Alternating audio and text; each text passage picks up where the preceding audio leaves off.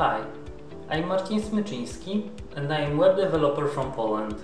I've been asked, are math and coding a crucial combo or they are just great complement but not essential duo? I think the latter, because in most cases you won't be doing some crazy calculations while coding. You will use just the basic math concepts as logic to distinguish true and false statements, math sets to sort data, and geometry to draw vectors for computer graphics. However, there are many cases when math skills are not needed to create games, programs, and websites.